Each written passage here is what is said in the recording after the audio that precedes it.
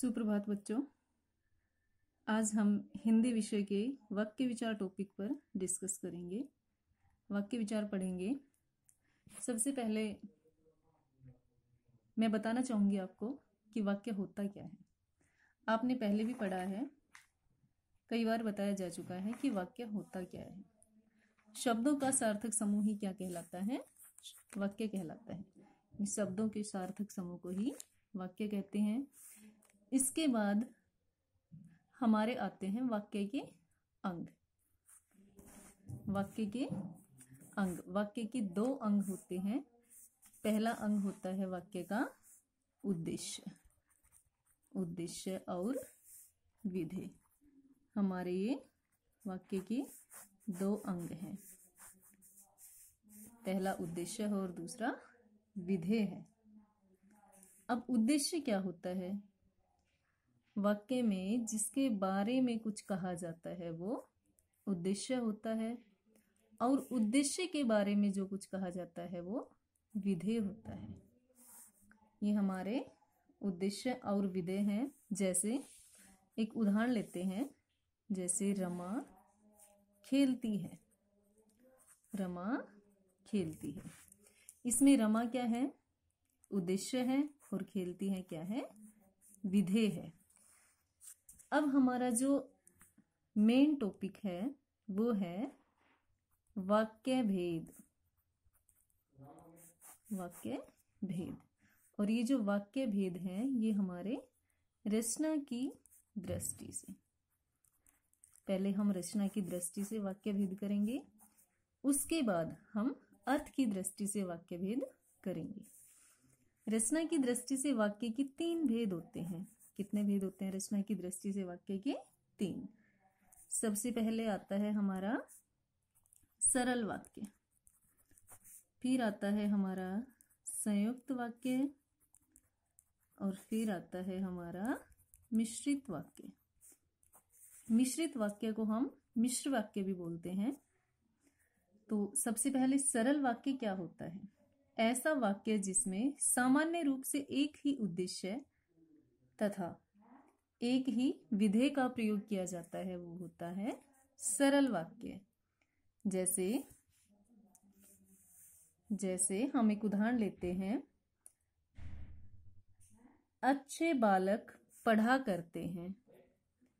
अच्छे बालक पढ़ा करते हैं। ये हमारा एक उदाहरण है। अच्छे बालक पढ़ा करते हैं। इसमें उद्देश्य क्या है? अच्छे बालक। और पढ़ा करते हैं क्या है? विधेय ये हमारा विधेय है और ये हमारा उद्देश्य है। फिर आता है हमारा संयुक्त वाक्य। अगला क्या है? संयुक्त वाक्य। जिस वाक्य में दो या दो से अधिक वाक्य जिस वाक्य में दो या दो से अधिक वाक्य या वाक्यांशों को किसी समुच्चय बोधक द्वारा जोड़ा जाता है। किसके द्वारा जोड़ा जाता है? समुच्चय बोधक। ध्यान दीजिए, ये वाक्य किससे जुड़ते हैं?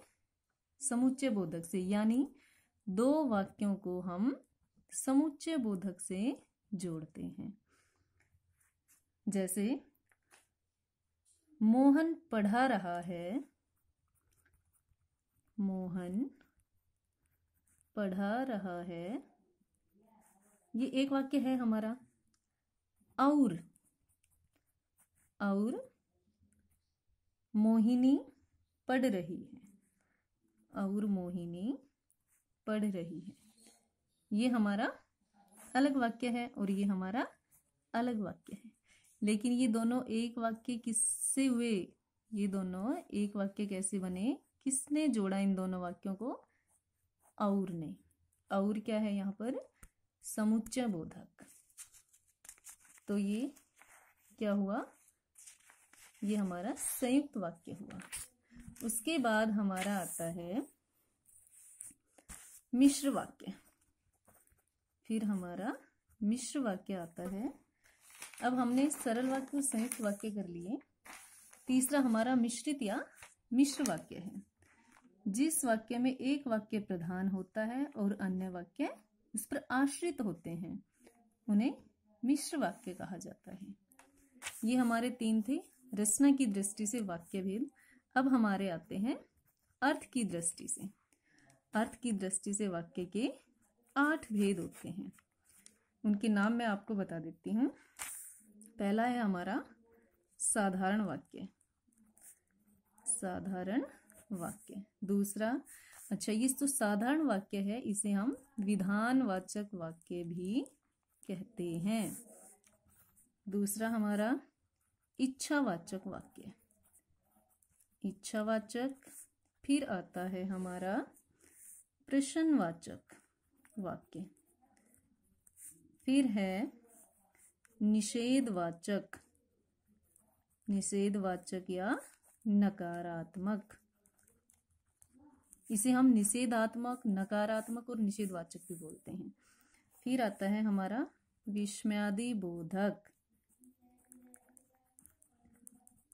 विस्मयादि बोधक वाक्य।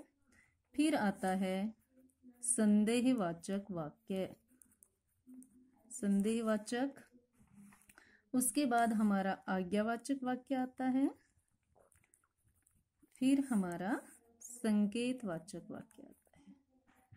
संकेत वाचक। ये हमारे वाक्य के आठ भेद आते हैं जो अर्थ की दृष्टि से होते हैं। इन पर हम कल डिस्कस करेंगे। पहले हम वाक्य के रचना की दृष्टि से तीन भेद है, इनको दोहराएँगे। वाक्य क्या होता है? वाक्य के अंग कौन कौन से होते हैं? उद्देश्य और विधेय एक बार दोहराएँगे आज के लिए हमारा यही है। इस भेद का हम, इस भाग का रिवीजन करेंगे।